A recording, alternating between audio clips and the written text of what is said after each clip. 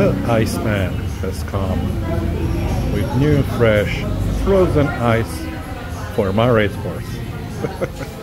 A full tri full of it.